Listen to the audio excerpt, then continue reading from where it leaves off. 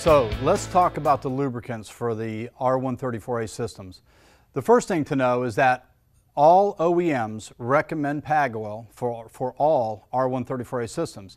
Now, the conversion from R12 to 134A took place in uh, the end of 93 year and in 94. So basically all vehicles since 1994 are R134A systems. So you would think that nobody would be dealing with anything but R134A systems because that's almost 20 years ago and the average age of a vehicle in the US is about 11 years old.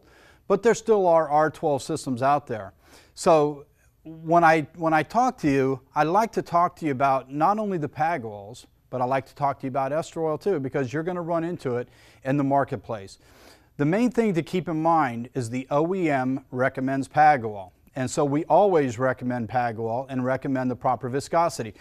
So you can see we've got some, uh, some lubricants laid out here to take a look at. First of all, you can see the PAGs up front. You've got the PAG in the 46 viscosity. You've got the PAG in the 100 viscosity and the 150 viscosity. So the OEM is going to recommend one of those viscosities. You also can see here that it's available plain or it's also available with UV dye where the dye is actually blended into it. Now all of the lubricants that we manufacture at Supercool are synthetic. So we are very, very focused on quality. When you look at them, you can see, I've got a bottle of ester here in my hand, but you can see this is plain. So if you look at it, you can see it's clear. That's just a plain no UV dye. Now if I take the bottle that's got the UV dye in it, so you can see, you can see the fluorescence. Now when you put a lubricant with UV dye in the system, you would only use a lubricant with UV dye typically when you're repairing the system and you're putting a full charge on the system when you, if you're putting a, if you've got three ounces of lubricant in the system and you're putting more lubricant in and the lubricant in the system is plain and you're putting in dyed lubricant, it's not going to have, it's going to fluoresce, but it's not going to give that full charge. So you would use a concentrated UV dye in that situation. But where the UV dyed lubricants come in and the, and the technicians really like them is when they're going to put dye in the system, when they're done repairing it, they're putting a full charge on it and they're planning to put dye in the system anyway, then they can put it in one step. But let's take a look. When you look at the different viscosities, it's really important. Uh, there's there's uh, software programs out there. Uh, there's uh, guidebooks out there that will tell you which viscosity goes in which vehicle. We actually even offer that on the Supercool website. Under our resources tab, you can go to uh, lubricant specifications and it'll pull it up and you can enter year, make, and model and it'll tell you which PAG oil, which viscosity goes in the car and it'll give you the fill rates and it'll give you a lot of different information. We want to make sure that you're putting the right lubricant and the right viscosity in the vehicle. Now, a lot of times people will ask us, well, what if I put PAG 100 in a system that calls for PAG 46? Will it hurt the system? Well, the system is going to operate and the system's going to, going to, going to run, but will it operate at its peak efficiency that the OEM designed that compressor to operate at? No. So we recommend always that you put the proper lubricant with the proper viscosity in the vehicle. So 46 is the lightest viscosity, 150 is the heaviest viscosity.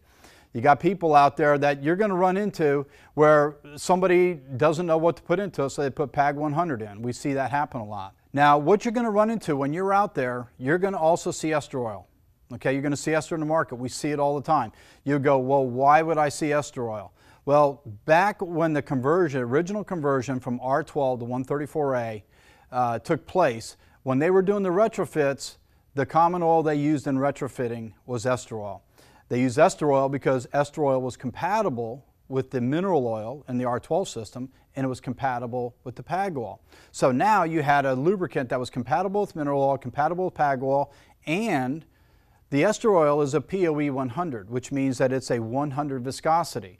So now it's a middle of the road viscosity, it's compatible with everything. Guys start using it and they're not having compressors fail. Now, again, a lot of those compressors are not going to be operating at the peak efficiency that that OEM designed that compressor to operate at, but that's why they're using them. And we still see that today. But we also like to make sure when we're talking to people, we want to make sure that they understand the different uh, compatibilities in the lubricants because you are going to run across this in the marketplace. And now, you know, you're going to go, why would that guy use ester? Well, that's probably why they're using ester. And I found that a lot of times I've, I've been in shops and I'll go into a shop and the guy's telling me he's been using ester for 15 years and never had a problem them, and there's probably not enough hours in my day to convince him that he needs to be making sure he's using the OEM lubricant because that's what he's been doing. But, but we make every effort to do that because the one message we always want to be driving home is that they need to be using the OEM recommended lubricant and the OEM recommended viscosity. Very, very important. Now, with, uh, with the lubricants that we manufacture, we also put additives in there. So we're putting uh, friction modifiers in there, antioxidants in there. Uh, we're, we're doing things that are going to help to extend the compressor life. And we're working within the automotive aftermarket. It's not a pristine environment. It's not a brand new compressor coming off an assembly line. It's a, it's a vehicle that's six or seven years old, eight years old, 10 years old, five years old. But it's a vehicle that's now in the aftermarket, and so we're putting additives in that we feel are going to help protect the components and help protect that compressor.